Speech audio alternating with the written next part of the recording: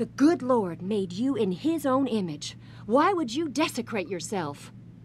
Don't you realize that the only thing you need in this world is His?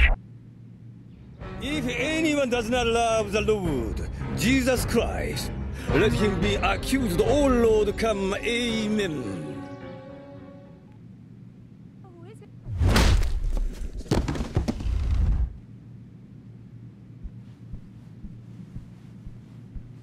Jesus Christ,